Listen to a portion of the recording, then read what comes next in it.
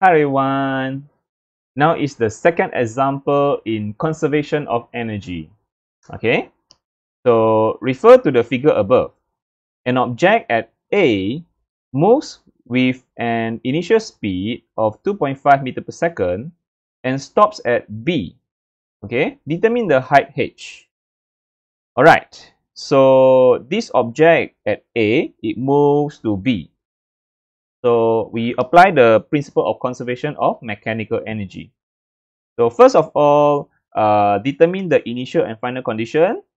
Okay, this is the, sorry. Okay, this is the initial conditions and this is the final conditions. So uh, over here, it has the initial velocity, uh, which is uh, 2.5. Okay, and uh, and it has certain height. Uh, so we can say initially it has both potential energy because of the height and also it has the kinetic energy because of the initial speed. Okay?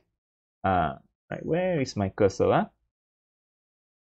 So we have the, it has the height and it has the velocity. So it has both gravitational potential energy and the kinetic energy. Uh, but in the end, when the, the blob has reached at the top here, uh, it stops. It says that it stops. Uh, that means the velocity is zero over there, but it has certain height. Certain height, that means it has, uh, so finally it has the potential energy only, uh, no more kinetic. All right. So, so we can say that um, the initial total energy is equal to uh, final total energy uh, only that the final kinetic energy is zero because it says it stops. Okay, so it has the initial potential, initial kinetic, and only has final potential. Okay, then apply the formula. Apply the formula as we know.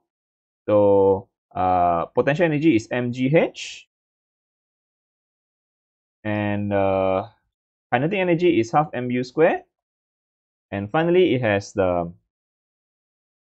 uh, mgh big h? Yeah.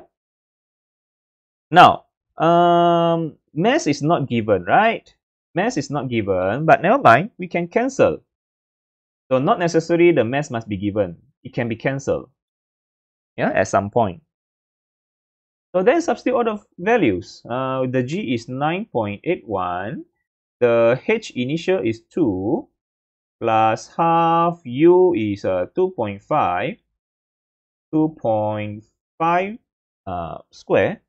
And then the g okay uh, uh here again 9.81 times the big h. So we get our big h which is uh, 2.32 meter. That's the height uh, it reached at the top here Okay, uh, that's the final height. Uh, initial height is only 2, but final height is 2.32. Um, it goes to a higher potential energy because uh, the kinetic energy all has converted to potential energy. So resulted in bigger gravitational potential energy. So also at a bigger height. Right? Okay, so that's all for this question. See you in the third questions.